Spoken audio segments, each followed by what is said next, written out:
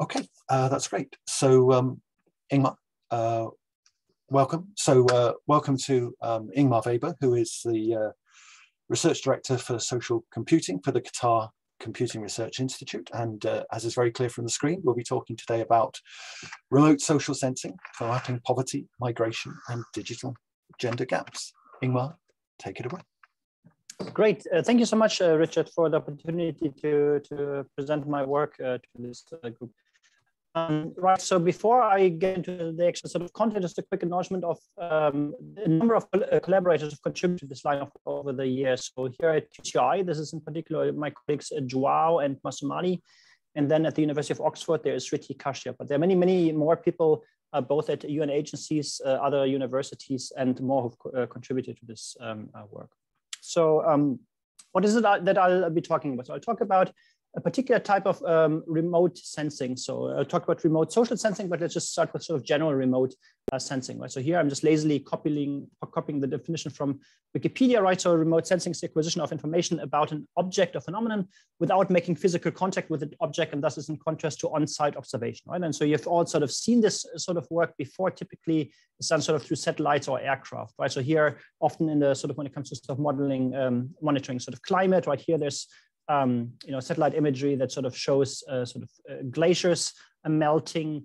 Um, you know, here there's similarly a, a, satellite imagery that sort of shows sort of deforestation um, uh, uh, in the Amazon, and then sort of closer to sort of you know um, economic development. Sort of, sort of, of course, you know, uh, night lights have been used for quite a long time. For example, to show uh, the lack of you know economic development in North Korea compared to South Korea, just looking at how much night is being emitted at night. So this is all sort of traditional um, sort of remote sensing. Now, what is remote sort of social sensing? Well, it's pretty much the same thing, but uh, looking at um, the things that you are sensing, right, are not trees, are not glaciers, are not sort of lights, but are sort of people, right, sort of, right? So, um, so it's you know you're, you're trying to, to sort of sense a society or social phenomenon um, uh, uh, more broadly, right? And so uh, how could this be done? So again, you could also use satellite imagery, right? Sort of economic activity is sort of man-made clearly, right? But you could also try things such as sort of Google Trends, uh, Twitter, uh, but in this talk, I'll talk about how you can sort of remotely sense, um, how you can do remote social sensing using advertising uh, data. So um, probably many of you have heard the slogan, if you are not paying for the product, then you are the product right? So if you're, you're, not, you're not paying for Facebook, you're not paying for Google, right? You're not paying for most of these services. So, you know, how are they making money? Of course, they're making money through targeted uh, advertising. So how does this work? So they collect a lot of information um, about their users. And then, you know, using this information, they collect, uh, of, they, they build certain profiles about you with certain attributes, right? And then advertisers can use these attributes to target their ads. So as a concrete example, on Facebook, I can show an ad only to female Facebook users living in London, age 25 to 29, who lived in Poland and who use an iOS device. Right, so quite specific, sort of, so in terms of who am I uh, targeting.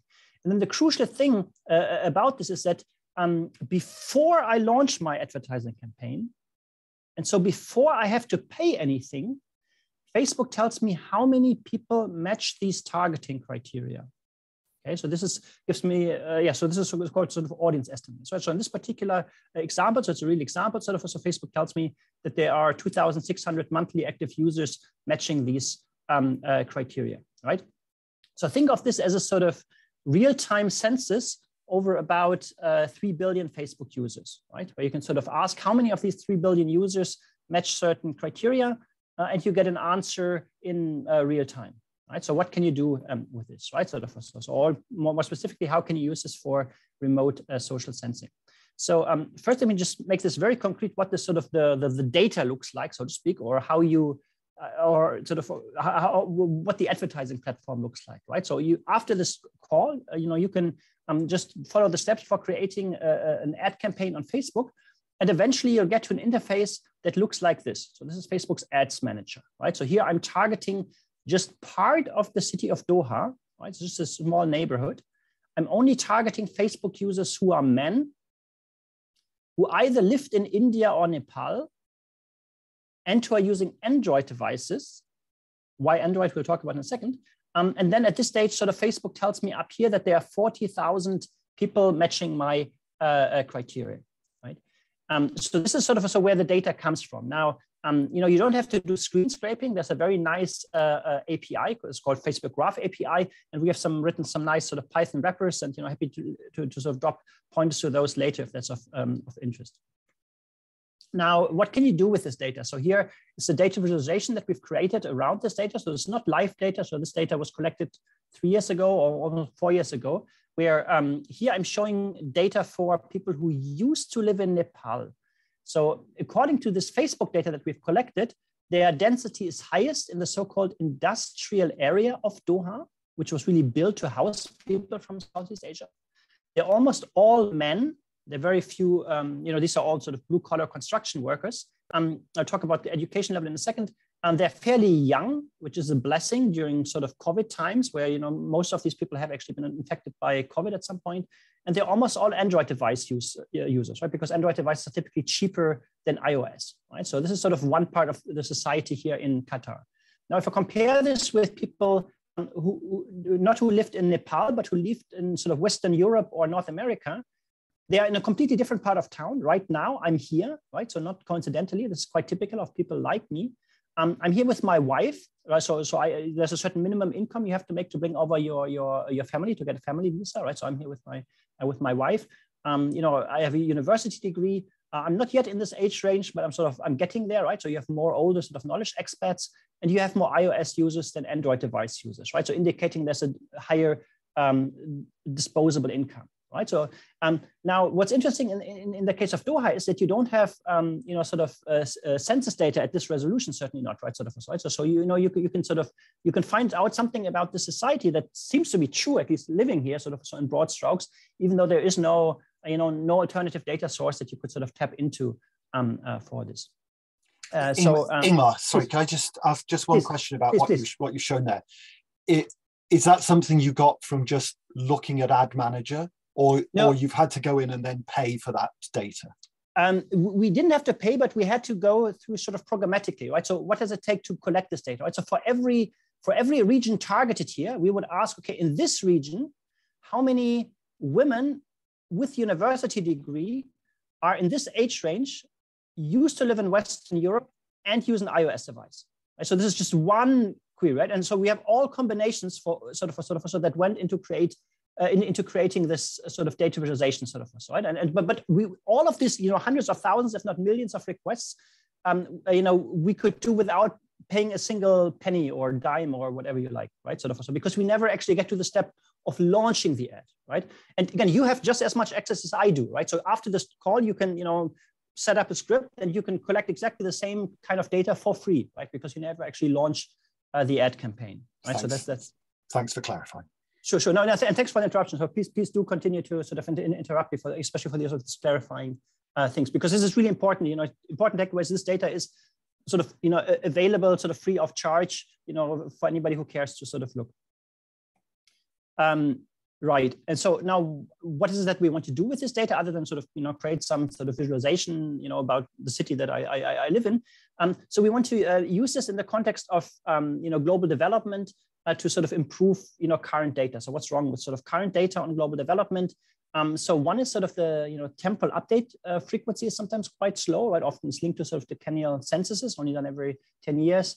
Uh, it can be quite coarse, right? So in the, in the case of sort of Uttar Pradesh, sort of, so it's one of the Indian states, I think it's like 200 million people, if I'm mistaken. So, right, and you might have like one data point sort of summarizing something, right? But that's kind of, that doesn't mean much. Um, or you know it, it lacks this aggregation uh, across dimensions such as uh, agenda, right? So maybe you know you know something with the total internet penetration in a country or in a region, but you don't know um, how you know women um, uh, are, are affected, or you know, maybe there's a sort of um, you know difference by, by gender. And so basically, we try to use such data to help with recency, to help sort of improve spatial granularity, uh, and to help with sort of demographic disaggregation for these sort of different estimates.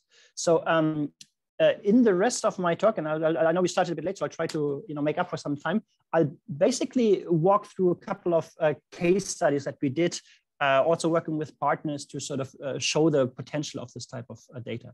So the first uh, case study is was done in the context of the Venezuelan um, exodus, where we try to um, basically map um, sort of the out migration, right? And so just for context, right, sort of, sort of, sort of, you're not aware of what is going on or what was going on in Venezuela. So you know, in 2019, according to the International Monetary Fund, um, you know, the, there was an inflation of, you know, uh, 10 million percent. It's not a typo, it should be 10 million percent, right? I mean, I'll skip the other details, but, you know, needless to say, there's a huge economic crisis.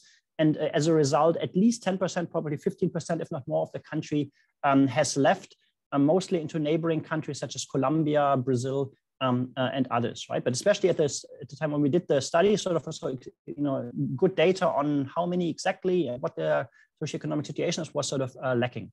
So um, what I'm showing you here are now estimates obtained from this Facebook data. So let me try to walk you through what you see in this um, uh, in this plot. So, so first, let's look at uh, data um, uh, in red, which is for the host country, Colombia, right? So we are, we are always looking at people who lived in Venezuela in this case, right? I mean, previously I showed you something for lived in India or lived in Nepal. So here we are always looking for Facebook users who lived in Venezuela, but now in red is at that point they were then living in the destination country, Colombia. Okay. So now this data point here, for example, shows that in June 2018, you know, basically you were just sort of going to this interface conceptually. Of course, we were doing programmatically, right? But you were sort of, okay, what if, if, if in June 2018 you were to launch an advertising campaign targeting people who used to live in Venezuela, who were then living in Colombia, the interface would have shown that there were about 1 million matching Facebook users, right? This is sort of this uh, data point here, right? Now, um, assuming that there are no false positives in this, this is likely an undercount, right? Because of course, not everybody is on Facebook, right? Sort of so on. So what we do with this other um, sort of a point up here is we try to correct for this by, by making assumptions. So, so we don't know the Facebook penetration among Venezuelan um, migrants in Colombia, but we assume, this is an assumption, that it's the same as in the overall Colombian population. Okay, so now it's supposedly the overall Colombian population, about 60% are on Facebook. So we're sort of adding another missing 40% on top, right? Sort of. So just give like sort of like a, you know, most likely it's closer to this point than to this point. Of course, it's not, it's not, not, not precise, but this is just an assumption we sort of make, right? And this is sort of also what you then see here plotted uh, over time. Um, in, in, in gray, you have this sort of aggregated across all of Latin America. And here in, um, in, in, in black, these are sort of other sort of types of ground truth. I put this in air quotes, sort of, sort of, because in all of this sort of migration or refugee work, sort of, you know, the official statistics is, you know, not, not always sort of gold standard, but it's sort of as close you, you can get as sort of to, to gold standard, right? And you can sort of see that the estimates from sort of Facebook are in a similar range, but probably higher than what was sort of estimated in sort of official um, uh, uh, statistics. And there's some, you know, some reason to believe that actually this might be on the low end of things. Now, if we look at sort of subnationally, again, we can do this even at the subcity level potentially if there's interest, but here we only did it at the sort of the sort of uh, state level essentially. Um, we we again sort of compared this data that we collected in 2018 uh, uh, sorry, so on, on, Facebook data is on the right. This is uh, collected on Facebook 2018 with data that the Colombian government collected, uh, shown on the left. So this data on the left is shown uh, was collected by self-registration. It basically, um, you know, Venezuelan refugees and migrants were sort of invited please come and register. But the precise benefit of that was not always clear, right? You could sort of imagine why people might um, sort of hesitate to sort of, uh, you know, to, to register. So, okay, so now if you sort of compare the sort of say official government data to sort of Facebook, you see some similarities, right? Like at least both data sources pick up quite a large number of, uh, you know, Venezuelan migrants and refugees close to the border. But then you know, Facebook picks up a larger number compared to the government data further inland, right? And so now it's sort of okay, who's right, who's wrong, sort of so. Uh, we were actually working with people in Colombia during the response, and they actually told us that uh, this distribution looks more plausible, just based on their sort of on-the-ground experience, than the, the distribution in, in, in this data. And, and their hypothesis was that, or rather observation was, that the, the self-registration efforts were much more pronounced closer to the border and not so much further inland, right? So again, ultimately, we don't know, you know, the, the precise ground truth, which is the whole motivation for us to do this work in the first place. But that also means we can't know for sure, um, you know, who's right or wrong. But at least again, partners, you know, from Colombia on the ground tell us this is probably closer to the truth than uh, data from the Colombian uh, uh government.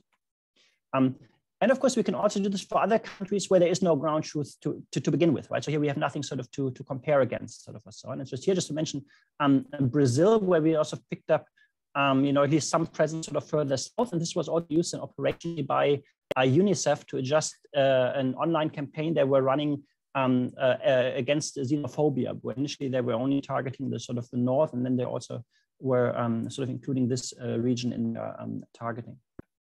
Um, now, going beyond just the, the sheer number of uh, you know migrants and, uh, and, refugees, we can also get at least a glimpse um, at their socio-economic um, uh, situation, right? So, so and um, so, let me try to also walk you through this plot here. So, um, again, we're always talking about people from Venezuela. So, so any location that you mentioned here is a, is, is a destination country or destination um, uh, uh, region. Now, the, the, the ordering of these bars is based on the percentage of Venezuelans in that host uh, region um, using iOS devices, right? So Apple devices, which are typically more expensive, right? To make this concrete, um, here in Roraima, Brazil, which is sort of the jungle that you would sort of, you know, walk to basically, you have very, very few Facebook users from Venezuela using iOS devices, right? Sort of 3%. On the other end of the scale, people who make it all the way to the United States, you actually have the majority of them using iOS devices, right? Sort of, so probably these are better off than, than, than these people, at least if you look at the devices that they're using to access Facebook.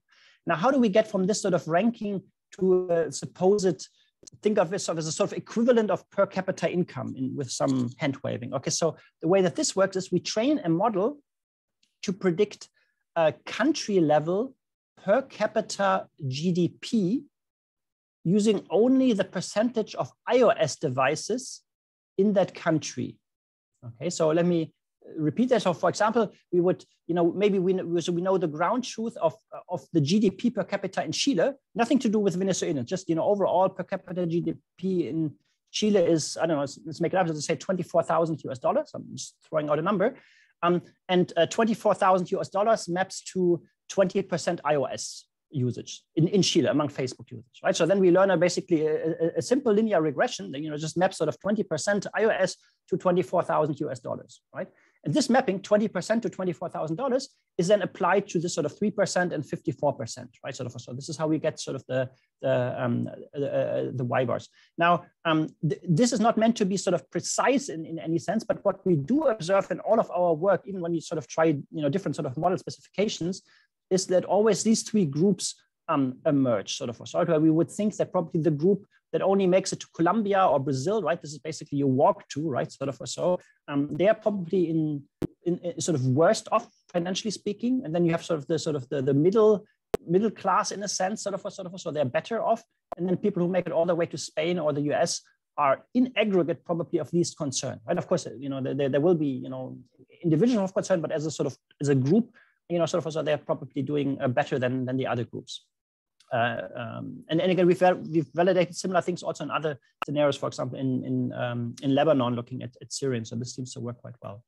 Um, and we were happy that this was also used uh, operationally, sort of, so and it continues to be used also by uh, um, iMMAP. So this is one of the NGOs that we were working with, um, who uh, uh, continues to work with US uh, AID on the um, uh, topic.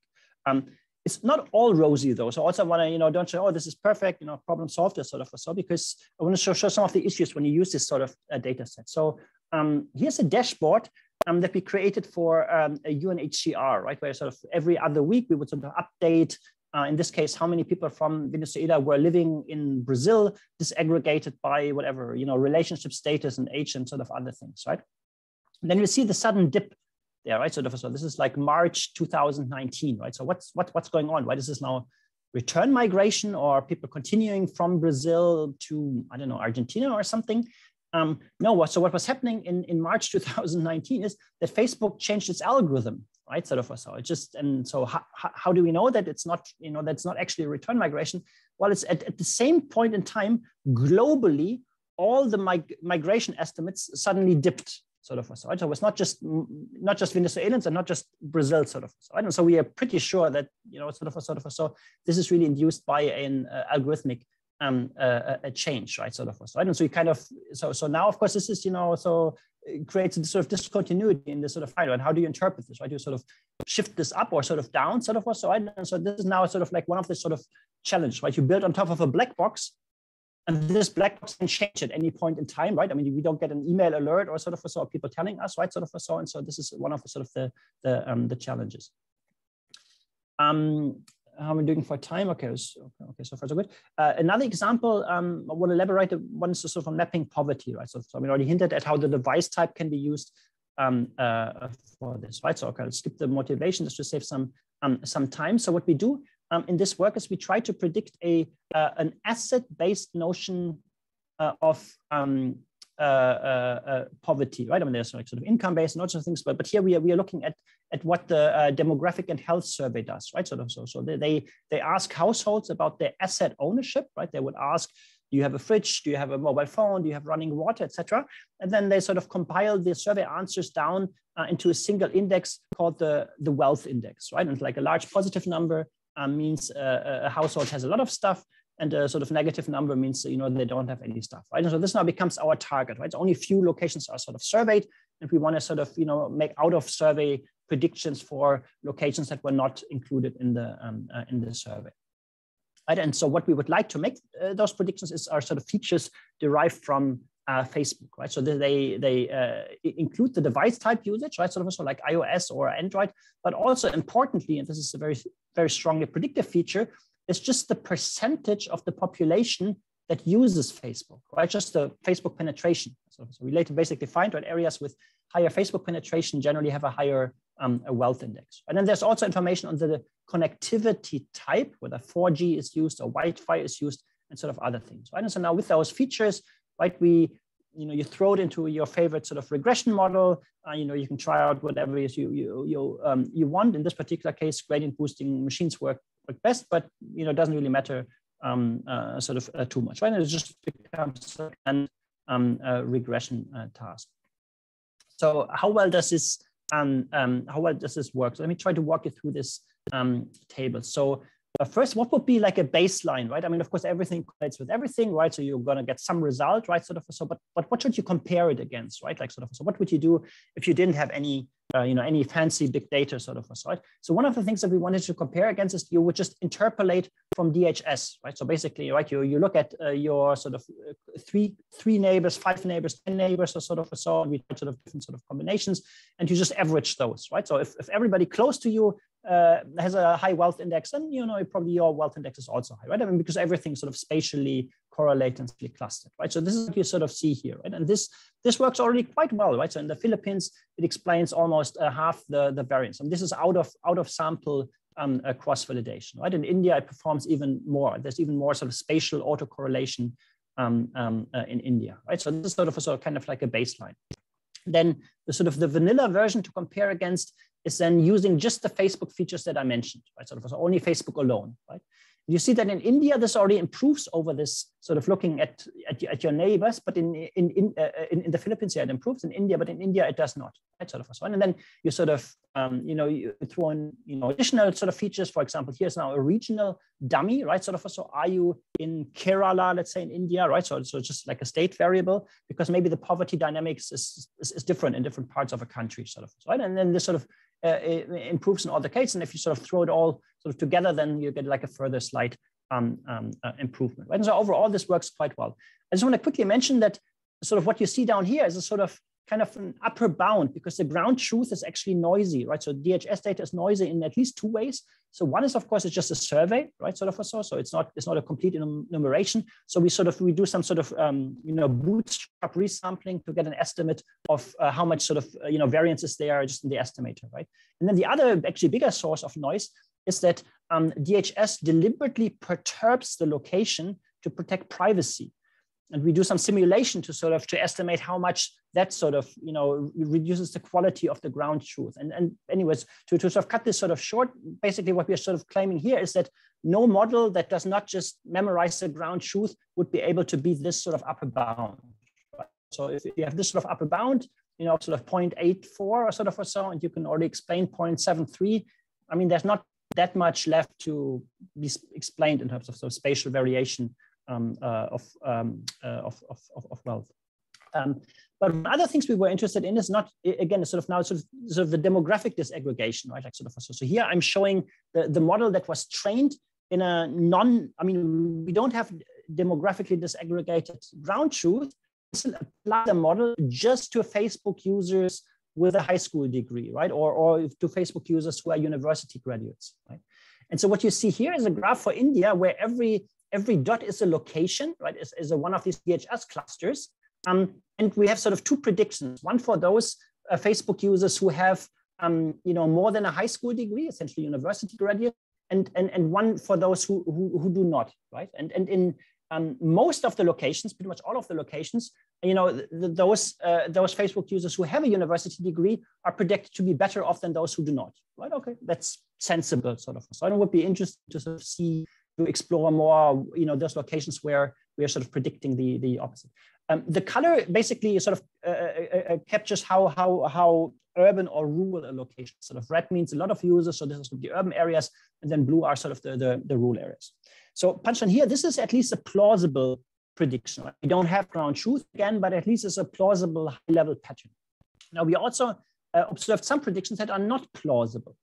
So here I'm showing something similar where we disaggregated our predictions by gender. Right? So now we're making a prediction just for um, you know, for uh, female Facebook users or just for male Facebook users. Right? And you see, wow, this looks pretty gender equal, right? In almost every location, we are predicting more or less the same sort of wealth index for men and for women, right? And sort of and so. But now I'm claiming this is not plausible. Why am I claiming this is not plausible? Well, based on other data, for example, from the World Economic Forum sort of global gender gap report, um, you know, India is, is, is ranked, uh, so here 149th in terms of economic participation and opportunity out of 153 countries, right? So it's very far from uh, uh, gender equality, right? So this is just not plausible what we're observing here. And so, so what's going on? Why is our model failing so, so miserably here, right? Sort of, so it's clearly off the mark. It's a particular type of survivorship bias. They're sometimes called the Jackie Robinson effect. So, so Jackie Robinson was the first African American um, uh, uh, baseball player who played in the major league. Sort of? And for him to make it, despite all the racism, right? Like he had so many hurdles sort of put in front of him, but he still succeeded. But for him to succeed, right? I mean, he only succeeded because he was exceptionally good uh, at baseball, right? If you look at his bet betting averages, he's an all-time great, right? So, so if you were then to extrapolate out from him, you would think, well, all African Americans must be extremely good at, um, you know, baseball. Well, those are the only ones you observe, right? I mean, they have to be, otherwise you wouldn't see them in the first place. And, and the same thing happens in India, sort of. So you have very few women on Facebook compared to the number of men, but those that we do see are exceptional. I mean, they're higher, uh, uh, they're better educated than men. They have higher, they have better devices than men, right? They, they, they, they, as an individual are probably better off, right? The ones that we do see are better off, right? But of course, we only we only observe the ones that are better off, right? And so this now creates this sort of bias. So what can we do about this? Well, we can reduce our feature set, right? So if we use not, for example, the device type. We say, okay, the device type, this is too biased. We don't know exactly how to correct for this. Let's remove, get rid of this. But we only look at the Facebook penetration itself to make the prediction, which is also highly uh, strong rated. Then we get something that's more plausible, right? Sort of. So, so now, based in every location sampled, um, you know, the, the, the, the, the penetration among um, women is below the penetration among um, uh, uh, men, sort of. So the Facebook penetration, sort of. So, and so we would sort of predict that they have a lower um, a wealth index, right? And so, so this this is at least the general trend now is sort of more more plausible um, uh, here. Again, we're happy that this worked uh, also went beyond just a paper sort of a sort of a, so at least the feature continues to be used by a partner of ours in the Philippines called Thinking Machines, who also incorporated it in, in, together with other features in models that they uh, built for um, uh, UNDP's um, uh, business plan. Um, okay, I quickly want to talk about digital gender gaps as well. I might skip a few things, but basically we sort of built models to predict internet, uh, I mean, to predict um, um, the female to male ratio of internet users using the female to male ratio of Facebook users. So, so what you see here is ground truth from the ITU, the International Telecommunication Union, on the female to male ratio of internet users, right? So for example, in the UK, you have pretty, I mean, it's close to, if not exceeding 1.0. So you have, you know, sort of the same internet penetration among women as you have among men. So basically gender equal in terms of internet access, right? Um, many other countries fall behind, but there are also a lot of white spaces, right? So even Canada is not reporting. And so we build models to fill those data gaps, right? So now what I'm showing you here is a model, right? So it's now prediction based on Facebook data. And um, this model actually works works quite well, sort of for sort of for so. Again, just in the interest of time, I'll sort of skip some of the sort of the, the, the details. And it works better than offline data, right? Sort of so. And if you combine the if you combine offline data with online data, then it works even better. But then the number of countries you can make a prediction for drops, right? Because now you need sort of two data sources to be um, uh, available. Um, and again, this we've also sort of uh, deployed through the uh, SDGs Today portal. So if you look at sort of the SDGs Today portal, they have three data sources. Two come from the UN themselves, and one comes from this uh, project on digital gender gaps.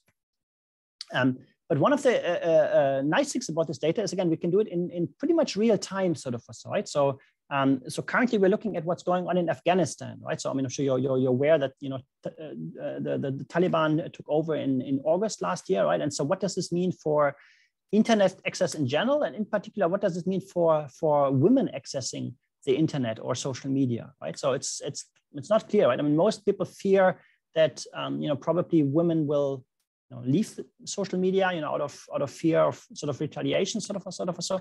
But then there are also hopeful stories, such as in September last year, there was a sort of social media campaign uh, called uh, "Do Not Touch My Clothes," where um, you know, sort of women basically sort of uh, started a sort of like a counter movement, if if if you want, uh, uh, against uh, sort of suppression, right? And so, which way is it ultimately sort of going to go? So, what I'm showing you here is um, data looking just at um, um, uh, uh, adolescent girls aged 15 to 19. So in, um, in, in, in Afghanistan, right? So now we're only looking at Afghanistan. So, so in black, you have the total number of daily active users, you know, collected over time in thousands, sort of. So, so you sort of see in late 2018, sort of it starts declining, probably as Facebook is declining globally, so especially among the age group, right, is losing to like Snapchat and TikTok and sort of other um, uh, alternatives, right? Um, but then as a sort of this sort of this dashed line is the fall of Kabul sort of or so is already sort of you know st starts going up towards this. And then during the fall of Kabul it dips. But after the fall of Kabul it sort of shoots up to levels not seen in many many years right? So this is now this um, this sort of social media campaign do not touch my clothes sort of. So and since then it has leveled off a bit but still the, the total number of of adolescent girls using Facebook still at levels not seen in many years, right? Sort of, right? Like, so it's sort of oddly that the, the sort of, so far it seems that the um, Taliban takeover has been a bit of a catalyst for, um, you know, sort of uh, adolescent girls using um, Facebook. Uh, and also, apart from their own number, also the female to male ratio has increased, right? So they used to make up so the ratio of sort of boys to girls used to be sort of uh, you know sort of uh, one to five and now well, maybe one to four sort of so, so it's a somewhat um, uh, uh, improved. Um, apart from the real-time nature, again, we can do this sort of, you know, subnationally. This is again ongoing work where we're now doing this sort of um, looking at um, data for Africa in particular. This is a map for the sort of administrative two um, uh, uh, level where we're sort of predicting this female to male uh, ratio. In this uh, case, it's of mobile phone ownership. Um, I'm happy to talk more about that work if that's of interest. Okay, but I want to have some thoughts just to, to to, to, to sort of philosophize a bit in a sense or to, to wrap up. So um, so just recapping, okay, so what's sort of the strength and the weaknesses of such an approach, right? One of the strengths is that we can do this not just for Facebook, but for LinkedIn and Weibo and Snapchat and, you know, anything that has targeted advertising, right? So, uh, so again, I'm here, I'm just showing Facebook because it's kind of the, the biggest game in town. But um, again, if, if we were looking at, for example, in China, we're using Weibo for, for similar uh, analysis. You get near real-time estimates, right? I showed this in the case of sort of, um, um you know, Venezuela or Afghanistan, etc. Um, it's anonymous and aggregate, right? I mean, I don't have individual level data, right? I mean, we only get these, how many people match your criteria, right? I mean, that doesn't mean that there are no privacy concerns, but at least I, I, never, I, I, never deal with sort of, you know, uh, personally identifiable um, information. Um, there are a lot of different targeting attributes you could try, right? And of course, it's important you get this data free of charge, right? Again, and you, you, you know, listening, sort of, sort of you have just as much access as um, as, as I do. Um, but there are you know considerable drawbacks right? I already mentioned this whole black box inference thing right? Sort of so and the black box can change in any time right? We don't know exactly how facebook infers for example somebody if somebody is a migrant or not. We have some ideas but ultimately we don't know uh, for sure right? Um, you know i mentioned about this sort of this, this biases of course it's understood. Not everybody is on facebook sort of so right and sometimes it's interesting to look at exactly who's not on facebook right? Kind of for our gender gap mapping it's kind of the, the missing people are the signal in a sense but again, for the sort of poverty mapping work, that you know causes some sort of challenges, sort of, sort of in terms of overcoming this. Um, uh, Facebook, you know, at least on the on the uh, internet platform, uses a sort of binary, sort of male-female dichotomy, right, which might not represent everybody. That's another sort of shortcoming.